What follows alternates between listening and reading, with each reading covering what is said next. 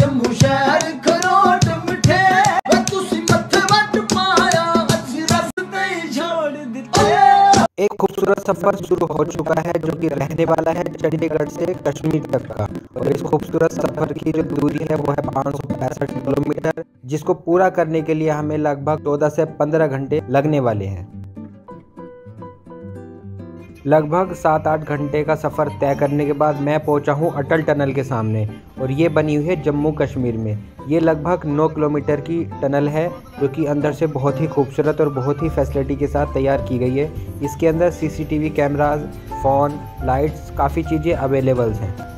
काम की बात आपके लिए है। अगर आप दिल्ली से कश्मीर तक आना चाहते हैं तो आपके लगभग दो हज़ार रुपये बोलवो बस से लगते हैं। और अगर आप बाई एयर आना चाहते हैं तो लगभग आपके साढ़े चार हज़ार रुपये लग सकते हैं। ट्रेन की सुविधा भी कश्मीर तक अवेलेबल नहीं है। सिर्फ़ दिल्ली से जम्मू तक आप ट्रेन से आ सकते हो।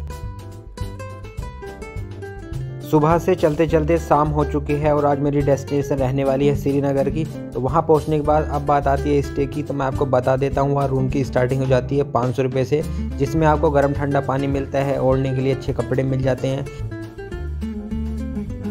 सो so, दोस्तों मेरी पहली प्यारी सी सुबह श्रीनगर के अंदर। अभी हम जा रहे हैं ताज होटल जो कि श्रीनगर के अंदर बहुत ही खूबसूरत जगह पर बना हुआ है। वहाँ अपना थोड़ा सा काम है उसको फिनिश करते हैं। देन हम रिटर्न आते हैं श्रीनगर के अंदर और एक्सप्लोर करते हैं यहाँ की खूबसूरत चीज़ों को।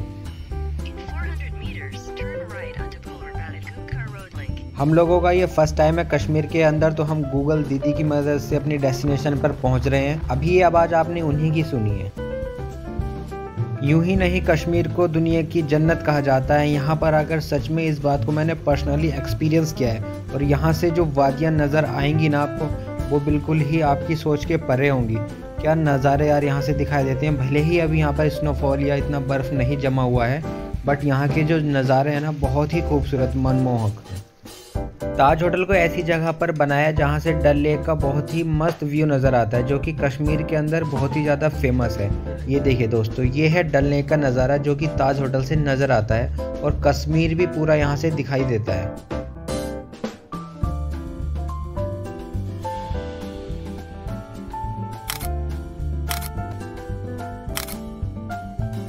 होटल के अंदर अपना एक इवेंट था जो कि स्टार्ट हो चुका है बहुत ही बढ़िया तरीके से। अब वेट है इसके ख़त्म होने का बहुत ही बढ़िया तरीके से। और फिर चलते हैं हम बोटिंग करने के लिए डल लेक के अंदर, जो कि कश्मीर में बहुत ही ज़्यादा फ़ेमस है और बहुत ही खूबसूरत भी है। वहाँ मैं आपको दिखाता हूँ फ्लोटिंग मार्केट फ्लोटिंग डाकघर, बहुत ही बेस्ट चीज़ें मैं आपको वहाँ दिखाऊँगा एक्सपीरियंस कराऊँगा। हेलो जी दोस्तों, स्वागत है आपका डल लेक के इन खूबसूरत नज़ारों में। कश्मीर की इन खूबसूरत वादियों में स्वागत है आपका। अब चलते हैं और पता करते हैं बोट राइड का क्या चार्जेज़ है क्या क्या चीज़ उसमें इंक्लूडिंग है। फुल इन्फॉर्मेशन आपको दूँगा। अगर आप यहाँ पर आते हैं तो आपको उस चीज़ से काफ़ी फ़ायदा होने वाला लेक के अंदर अलग अलग पॉइंट्स बने हुए हैं। पॉइंट्स के हिसाब से ही उनके चार्जेज़ हैं।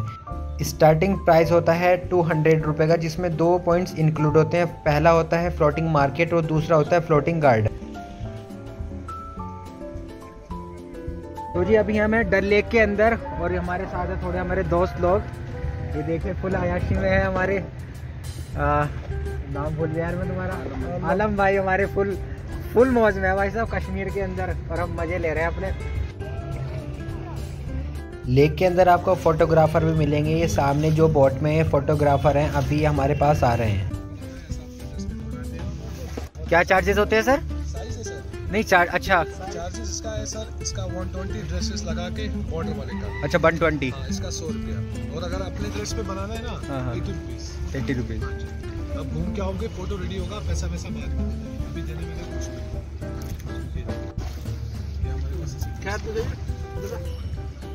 आलम आलम भाई पहनी गया ये ड्रेस है हो।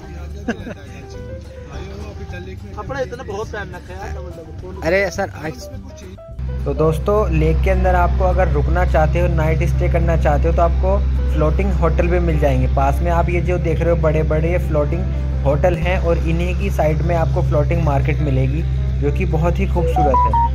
कश्मीर के अंदर दूसरी सबसे बड़ी डल झील है और इसकी जो दूरी है वो लगभग 18 किलोमीटर की है। 18 किलोमीटर में इसमें बहुत ही सुंदर सुंदर चीज़ें बनी हुई हैं और इस तरह की प्यारी प्यारी बत्तख भी आपको इसके अंदर तैरती हुई मिलेगी, जब आप इसके अंदर शेयर करोगे। दोस्तों, अगर मैं बात करूँ कश्मीर के कल्चर के बारे में, कश्मीर के लोगों के बारे में, कश्मीर की लैंग्वेज के बारे में तो सच में बहुत ही ज़्यादा डिफरेंट लगी मुझे। और अभी जो आप ये आवाज़ सुन रहे हो, एक नाव को ठीक किया जा रहा है, बिल्कुल हमारे पास में ही, जो कि झील के अंदर ही ठीक करी जा रही है। क्या बात है। प्लान तो हमारा लाल चौक पर जाने का था, जो कि बहुत ही फ़ेमस है कश्मीर के अंदर बट वहाँ पर आई डोंट नो वाई वहाँ पर कुछ कर्फ्यू लगा हुआ है, कोई अपडेट आई थी शायद आर्मी के पास। दोस्तों श्रीनगर से गुलमर्ग की दूरी है 50 किलोमीटर। अगर आप यहाँ से पर्सनल अपनी गाड़ी बुक करके जाते हो तो आपके चार हज़ार रुपये लगेंगे आने जाने में। अगर आप लोकल ट्रांसपोर्ट लेके जाना चाहते हो तो आप हज़ार रुपये में आना जाना दोनों कर सकते हो और साथ में कुछ खा पी भी सकते हो। मैं कश्मीर के अंदर हूँ, नवंबर महीने में। अभी तक यहाँ पर कोई स्नोफॉल कोई बर्फ़ नहीं है। अगर आप स्नोफॉल देखना चाहते हैं, बर्फ़ के मज़े लेना चाहते हैं तो डेफ़िनेटली आपको गुलमर्ग या सोनमर्ग जाना होगा। गुलमर्ग के अंदर आप बहुत ही बेस्ट एक्टिविटीज़ कर सकते हैं, बहुत ही मज़े ले सकते हैं। मेरा वहाँ पर जाना नहीं हो रहा है। अदरवाइज़ मैं आपको हर चीज़ दिखाता वहाँ पे कैसे क्या होता है। थोड़ा सा टाइम नहीं है, काम ज़्यादा है, इस वजह से नहीं जा पा रहा हूँ। नेक्स्ट टाइम पूरी कोशिश करेंगे। टेक केयर बाय बाय फिर मिलते हैं। नमस्ते।